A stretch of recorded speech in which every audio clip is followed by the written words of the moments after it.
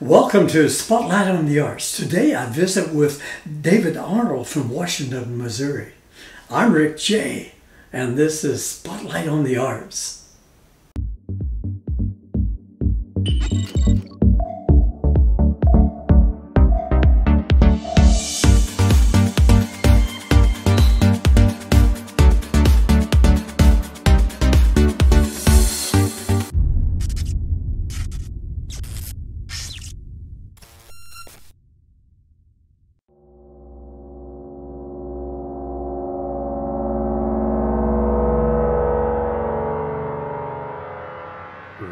Jey presents Spotlight on the Arts. Well, Mr. Arnold, welcome to Spotlight on the Arts. I'm truly excited to turn the spotlight on you today. Well, I'm glad to be here. I'm honored that you uh, chose me. Thank you, sir. Yes, I'm looking forward to it and sharing your story with some of the most amazing art in the state of Missouri as far as I'm concerned. Well, this is your first visit with me here on Spotlight on the Arts, and I've been looking forward to it since we met at a, a grand opening, a reopening, if I remember correctly, Mhm. for the Room of Art Gallery Yes. in Washington, Missouri, a, few months ago. Well, David, I, I'd really like to start out uh, by calling you by your first name, if I may. Absolutely. Okay.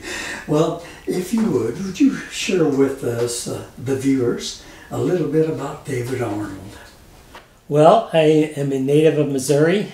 Uh, my ancestors go way back to the beginning of the creation of this state and the beginning of St. Louis.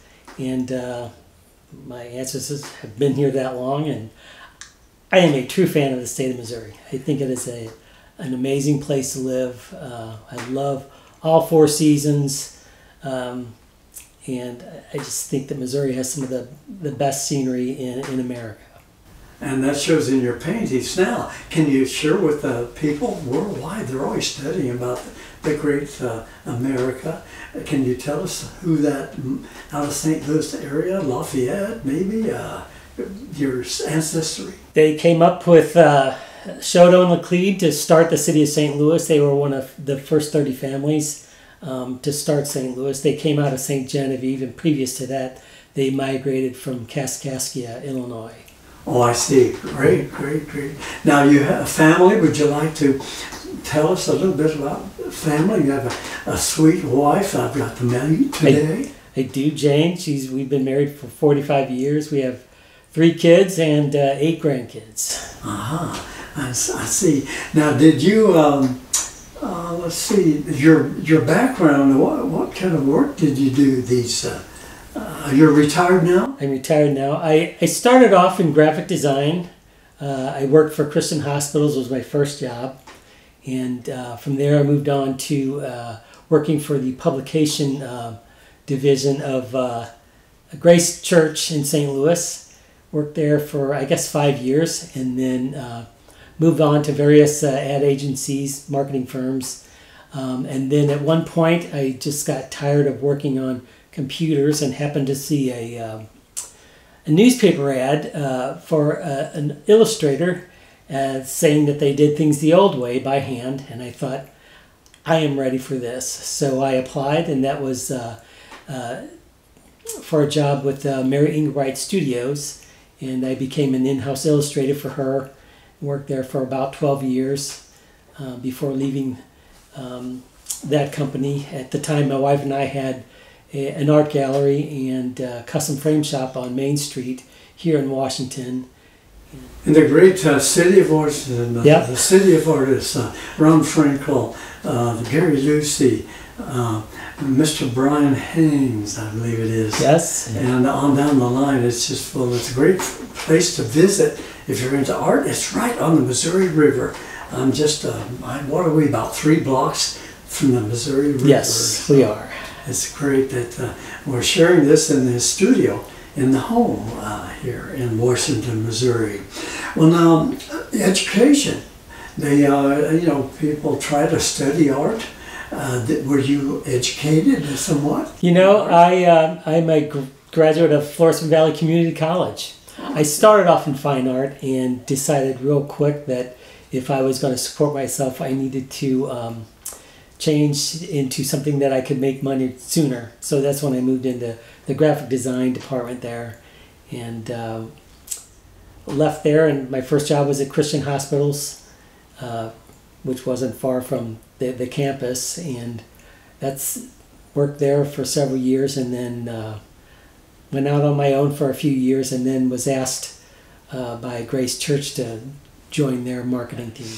Well, what really then became the first time you, she we say, was inspired to become an artist at four years old? Five Oh gosh, it was very very early. Um, I remember my older sisters uh, would have me um, do any of their homework that uh, uh, necessitated uh, an illustration or a drawing.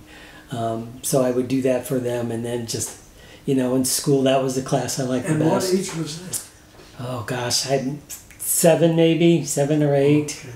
So you're like one myself. I was the that uh, that whatever grade I was in, I was the one that was always called on to do the the artwork on the Oh board. yeah, yeah, So you can identify with that. I sure can. Yeah. Well, now what continues now at retired, giving you time naturally maybe to do your artwork. What continues to you to ins- uh, inspire you to continue your artwork?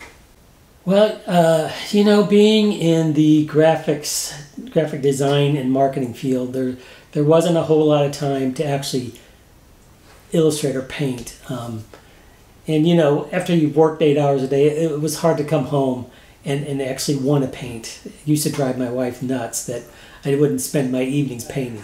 so so when I retired, I you know for twelve years when I worked for Mary Engelbreit, amazing experience. We there was a just a, an, a wonderful, talented group of artists, core artists there that worked. You know, Mary would start an illustration and pass it off to one of us to finish, or we would have to take one of her um, images and redesign it and revamp it for a different object.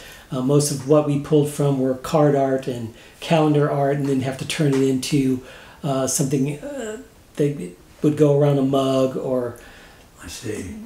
Uh-huh. all sorts of different things. Oh, But it was a great time of collaboration and working with other- other artists and um, you know just getting the hands on. So at least I was able to keep keep a, a, a good grasp on the creative process. Right. Well, Dave, your artwork speaks well for you, and uh, you've been viewing some of David's artwork as we were chatting.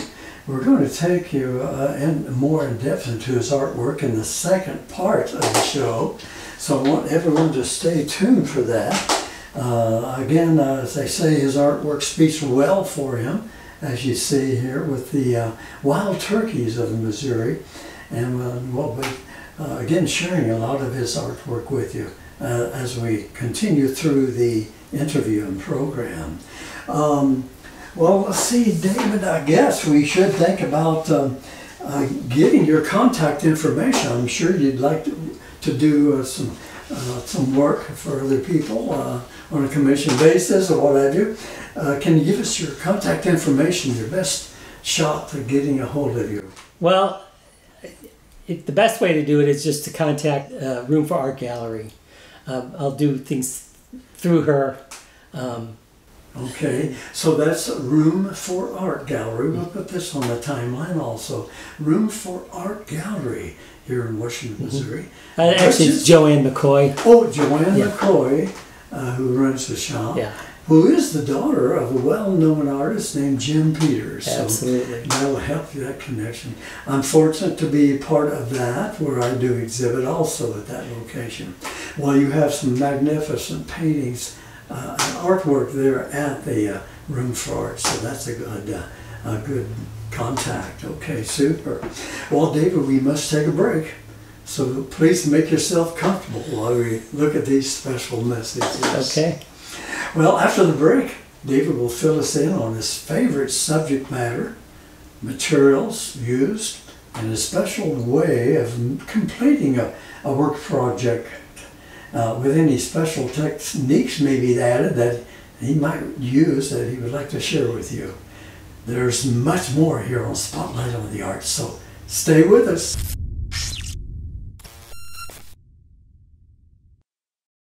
Creative, connection, control. Support the arts and be the change.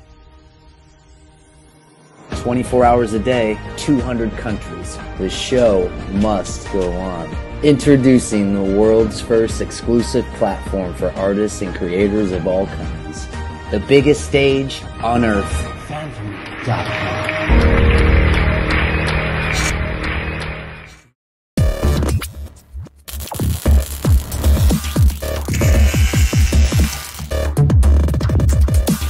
Stream Spotlight on the Arts on GIAJ Global Media OTT Network. Google us or find us on Roku, Amazon Fire.tv, or Apple.tv. Hi, I'm Rick Jey. And I'm Jeffrey Pernell, and we're here to introduce you to GIAJ Global Media OTT Network. Hope you'll tune in.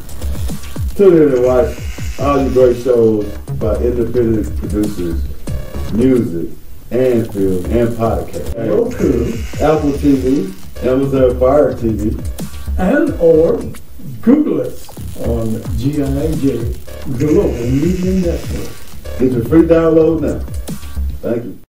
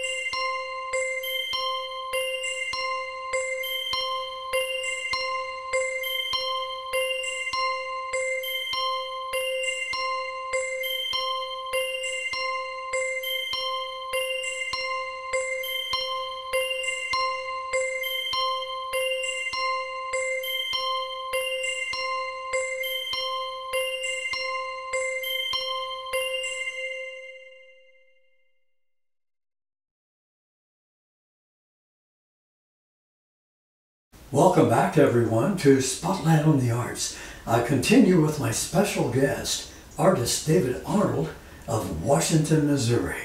Well, welcome back, David. Good to be back. Yes. You know, before the break, we shared a lot of information. Uh, so let's continue along those lines of thought and expression. And I'd like to ask you, if you would, please describe your type of art and how that came about uh, with all your skills and, and over the years considered. Um, I what I, I primarily work in um, watercolor uh, and colored pencil. Uh, sometimes I'll throw pastels in. Um, I where I first started was black and white. Uh, I've always been drawn to black and white, and uh, used to make this wonderful black pencil they called the Negro pencil, and uh, man, I got a box of those and took off. I used to draw on butcher paper because that's all we could afford, and I had a roll of it. So I mean, I would first subject matters that I did were, were Native Americans, um, and I got interested in that through stories from my grandmother of uh, her uh, Native American heritage, and um, it just kind of picked an interest. So um, I ran across a, a book of photographs by Edward Sheriff Curtis, who was a phenomenal photographer. And uh, once I saw some of his images, I thought, you know, I've got to draw these. So I started copying uh, his photographs, and uh, I would sell them. Uh, and for you know, I guess I must have been 17, 18, and um, I remember taking a roll of them or a whole series of them of them with a friend of mine down to uh, Florida and stopping in Cherokee, Tennessee, and selling a lot of them to the uh, Indians on the reservation there who had storefronts and stuff. I would basically go in and you know show them and you know I think I might have got 15 bucks, 20 bucks a piece for them, um, but it gave me enough money to finish the trip and head back home and Excellent, excellent.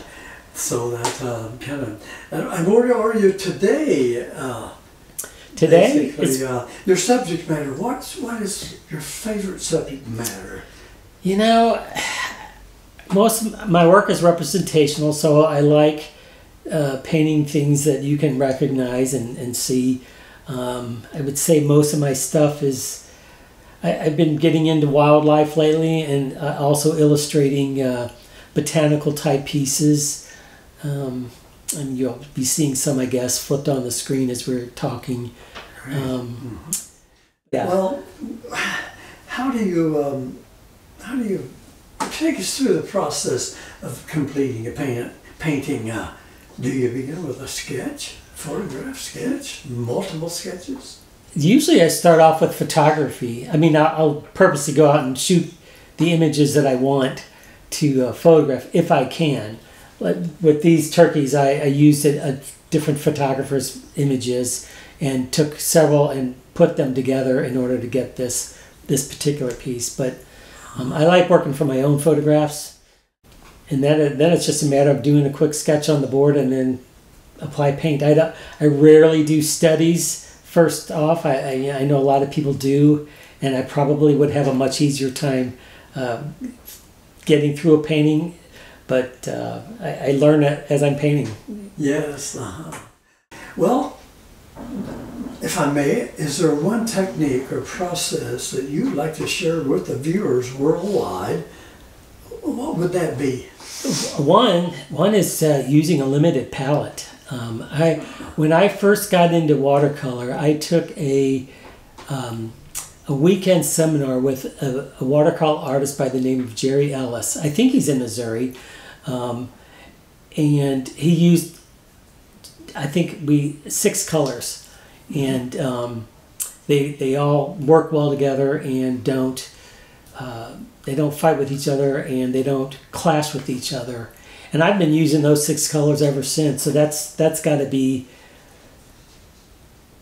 thirty years ago at least. I Um, agree with that. That's the way I was taught to take your basic six colors, make your blacks, make your darks, Mm-hmm. make your greens, make whatever. Yeah, Uh, and that really then becomes, in a painting, it seems to be more balanced. yeah, It doesn't seem like you have a spotlight all of a sudden, uh, an eye on a turkey. For, it's not looking like a green light go. You know? yeah, I, uh, that's great to hear that you yeah. uh, like more, I think more of your professional masters uh, have always used that. A good small palette. Yes. Um, well, um, we have favorites, and I'm sure you do. Would you like to share some of those favorites with us? Well, you know, one of my favorites is a black and white drawing that I did uh, of uh, Nicodemus, uh, a Jewish rabbi. It, it, there was a movie that came out, I guess, in the late 70s called uh, Jesus of Nazareth. An absolutely beautifully filmed uh, movie. I think Franco Zeffirelli was the um, director in that, that movie. and um, But there was a book that they put out on it, and there was just this image of this Jewish rabbi in there that, and um, gosh, I, I, I can't tell you how many prints of it I've sold. Um, So that touches your heart, that one. yeah, um, because I, I think, you know, when you use a photograph, um, they're great, but photographs can only go so far. It's up to us as artists to kind of add the spirit to them and, and give them that that light that, that touches people.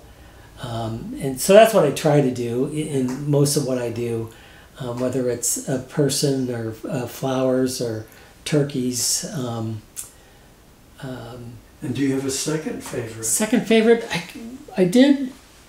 My wife and I went on a trip to Italy uh, in 2000, I think 14, with some dear friends of ours, and I was fascinated by all the doors in these small towns. So I took a, a bunch of photos of a bunch of doors, and I, I wanted to do a series uh, of paintings based on these doors. I've got one done, and that's that's one of my favorites. Oh, I see. Um, And a third?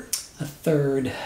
Oh, you know, I, I did a portraits. I did portraits of each one of my kids. I, those uh, I've always um, favored. Um, they've always been favored, sim- simply, I guess, because of the subject matter.